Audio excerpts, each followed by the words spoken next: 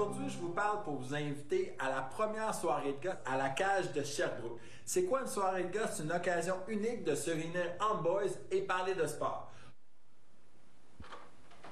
On vient d'entendre une invitation lancée par le Phoenix de Sherbrooke pour une soirée à la brasserie sportive La Cage le 12 mars prochain.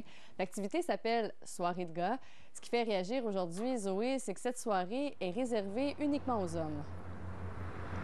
Le nom le dit bien, Marion, soirée de gars, c'est une soirée qui est réservée exclusivement aux hommes. Donc, c'est un panel où il y aura des invités euh, sportifs. Et le directeur des opérations euh, du euh, Phoenix a dit ce matin que, bon, c'est une soirée thématique, que les profits iront dans le fond d'études du Phoenix et que le but n'était pas d'exclure quelques personnes que ce soit de cet événement.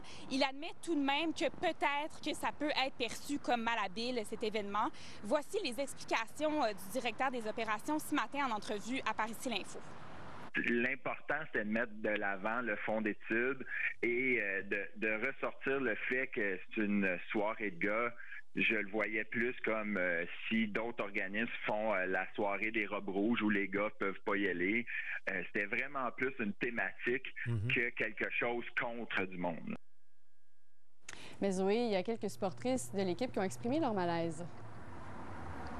C'est dénoncé euh, par plusieurs euh, ici en Estrie et plusieurs nous ont dit être surprises que ce soit encore d'actualité en 2024 et ça a aussi fait réagir euh, sur les réseaux sociaux. Je vous lis quelques commentaires sous la publication Facebook du Phoenix.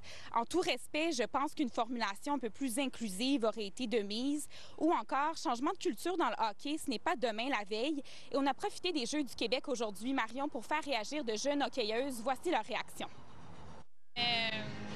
je poserais des questions. Si j'étais dans l'organisation du Phoenix, ça me surprend aussi qu'il n'y ait pas quelqu'un qui essaye. Euh, dans une minute, il y a quelque chose qui n'a pas de sens, mais. Pas fort, mettons, mais. C'est pas égal, c'est pas. Euh, Et les femmes, autant que, les hommes, devraient tous être euh, sur le même pied. Et Marion, la soirée de gars, ça survient après une année difficile dans le monde du hockey qui a été éclaboussée par euh, plusieurs scandales.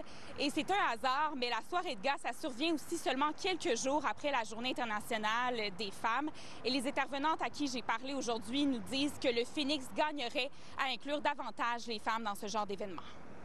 Ça perpétue un peu les stéréotypes et les préjugés de le sport, c'est plus réservé aux hommes, le hockey, c'est pour les hommes. On n'entend pas nécessairement beaucoup parler du hockey pour femmes.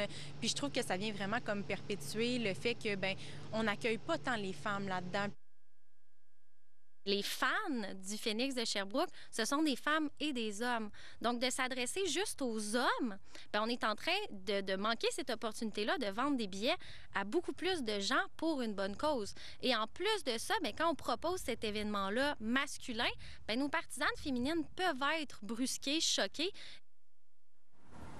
la ministre des Sports n'a pas souhaité réagir à la caméra aujourd'hui, mais par écrit, son cabinet qualifie cette soirée de malhabile. Merci beaucoup, Zoé. Je vous en prie.